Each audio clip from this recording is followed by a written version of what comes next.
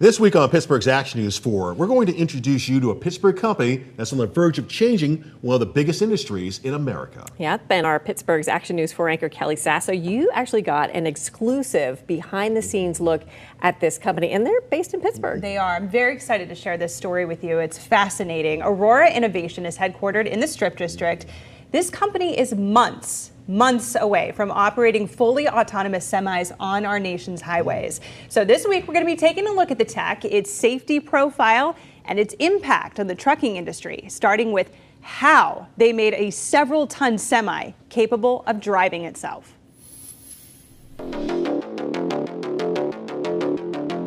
Welcome to Almono. This mini city is built on the very ground that supported the livelihoods of generations of Pittsburghers. J&L Steel Hazelwood Works and LTV Steel was once one of the most productive steel mill sites in Pittsburgh. The streets of this little town are named in honor of our city's favorite neighbor. Even the name Almono is a nod to Pittsburgh, Allegheny, Monongahela, Ohio.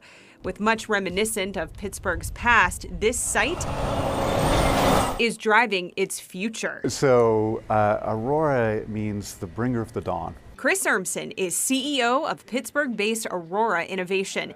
It has created one of the world's first operational driverless semi truck fleets. As we think about what we're trying to do with technology, with automated driving, we're trying to usher in a, the next generation transportation. All right, you guys let me know when you're buckled up. We were the first camera crew from Pittsburgh invited inside the Almono track. Plan is to pull the driver, right? Yeah, our intent is to pull the driver. Aurora's home for testing these semis for the past few years. This this looks pretty similar, uh, except the wheel is moving and there's nobody here. If you're a, a truck driver with um, just like regular experience, you get in this truck and it feels just like any other truck. The autonomous tech takes some getting used to from the inside and the outside. Do you feel like you guys underestimated how hard that was going to be? It's pretty much how hard we thought it would be.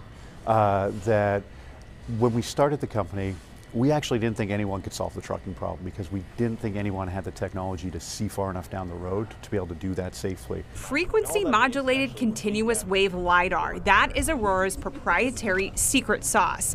It's what makes their tech different from other autonomous vehicles. Just make sure, you know, we have a good viewing angle. Engineers at Aurora say their trucks never stop anticipating what could happen. It actually knows exactly how many vehicles are there around at 360 degrees. It knows what speed they're going, what lane they're in, how close they are to the lane lines, and it's also forecasting where they might be in the future. Aurora's first wave LiDAR lets the trucks see 500 yards into the distance. It's somewhere, you know, a third of a mile out in front of uh, the truck, whereas if driving a passenger car in the city, you don't even need to look to the end of the next block. That's why we've seen the rollout of autonomous passenger vehicles well before this tech, but it is closer than you may think. In 2021, Aurora started running autonomous routes with a safety driver behind the wheel at all times between Fort Worth and El Paso and between Houston and Dallas.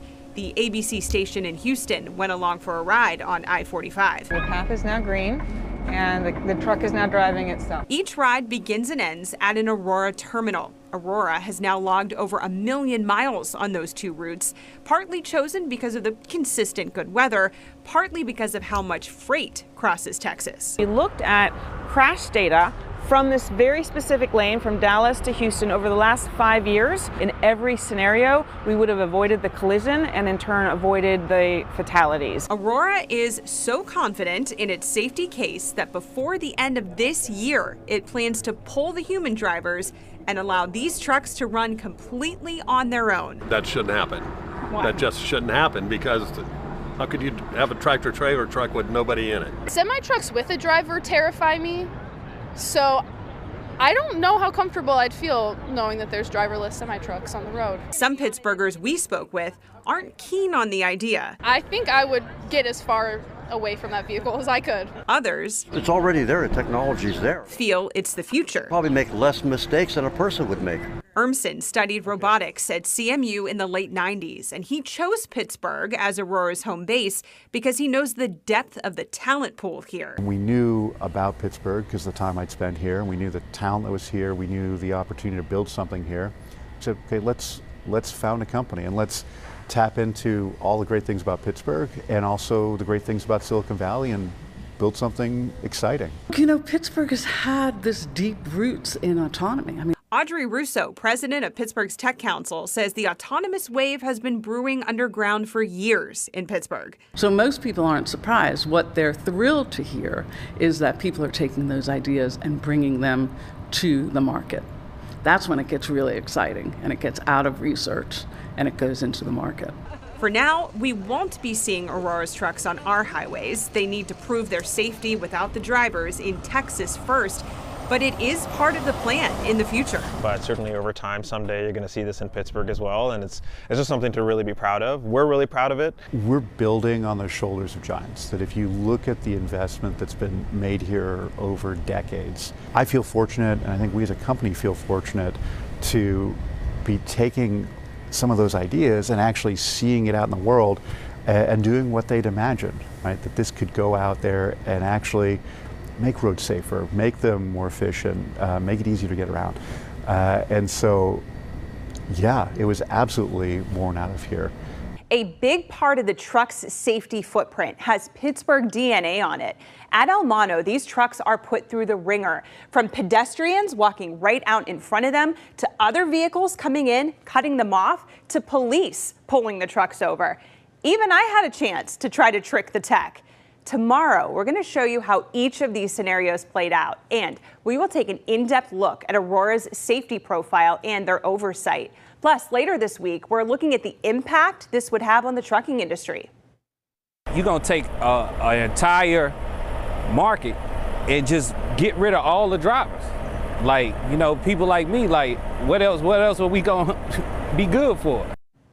We have a look at what autonomous freight would mean for the trillion dollar a year industry at large. It's all coming up this week on Pittsburgh's Action News 4.